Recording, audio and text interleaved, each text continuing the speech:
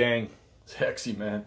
We are already underway with Ardennes 2. We're gonna we're playing 7.6, the tip of the spear.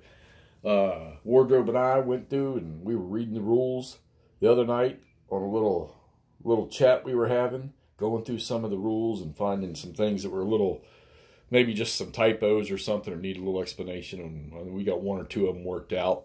I know Kev over Big Board, he's got a couple things he's looking at with deployment and stuff like that.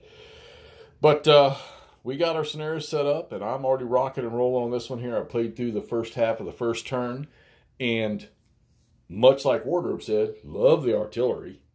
Okay, so I've already got to use the artillery rules. I've already got to use the reconciliation, which the Americans, you can see, if you look close enough, you can see they've got four full barrages sitting on the table, and the Germans have two. Uh, they had a couple of halves that failed. I've already used the retreat rules for the mechanized stuff over here, and one unit here moved back underneath this artillery.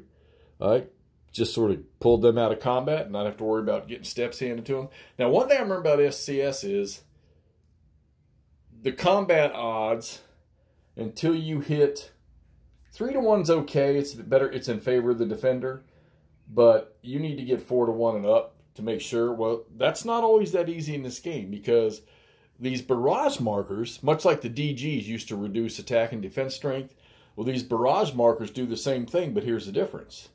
You could have more than one barrage marker in a hex.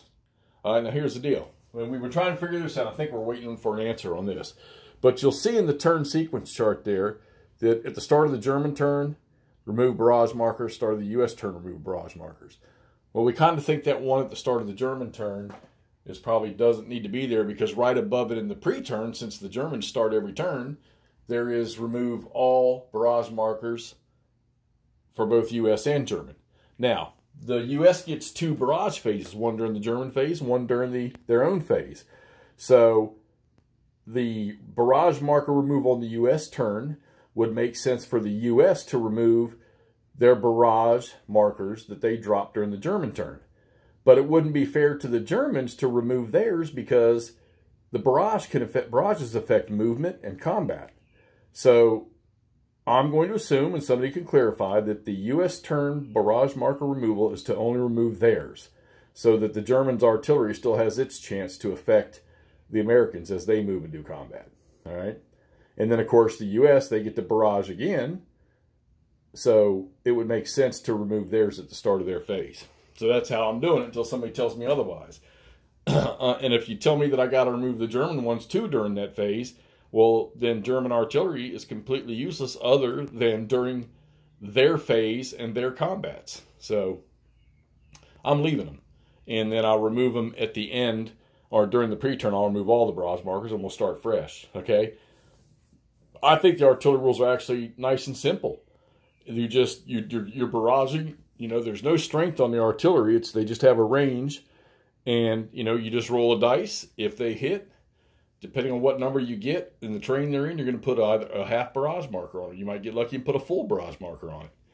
And in the reconciliation, all you're doing is rolling against the half barrage markers to see if they get removed uh, and apply no effect, or they get flipped over to a full barrage. Okay, so anyhow, we tried to move out. The only real successful attack we had was over here where they because they retreated, and the Germans, uh, as clarified in Facebook, somebody clarified it for us. The Germans need to take four victory hexes. So they already own two, so in total it's six. So they need to take four. So they got one. Um, this attack failed in here. With Well, it didn't fail. Both sides took a step loss. Nothing here, nothing here, nothing here. This attack failed in here. Correction, we did not do that attack. This attack was successful and it, it destroyed, completely destroyed this unit. And he was under a barrage marker, so that's why. So that one's done. Um, and then down here, you can see a step loss on both sides. So that was a split there. But so there you go. We're progressing. The white X's are the victory locations, and the Germans have captured one. They already own two, so they need to get three more and I believe it's at the end of the game. And this game's only four turns long, so the Americans will have to strike back. And they've got units sitting back up in there. You've got armored divisions all over the place that they can move down in there. All right. So there you go, Ardennes 2. It's being played. Let's get this up. You see how Hexy's getting started. And Wardrobe, I'm sure, will have one here shortly too. See ya.